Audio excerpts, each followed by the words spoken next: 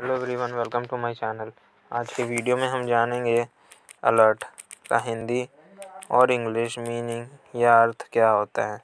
Alert, इसका हिंदी अर्थ है चेतावनी, भय, खतरे की सूचना, सतर्क, सावधान, फुर्तीला, तेज़, चंचल, सजग, चौकन्ना।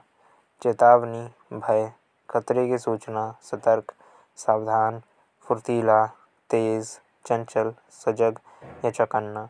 वहीं इसका इंग्लिश मीनिंग है quick to see understand and act in a particular situation quick to see understand and act in a particular situation एक एग्जांपल से समझते हैं इसे example I am not feeling very alert today not enough sleep last night यहाँ alert का मतलब है सतर्क. उदाहरण, मैं आज मैं आज बहुत सतर्क महसूस नहीं कर रहा हूँ, कल रात पर्याप्त नींद नहीं आई।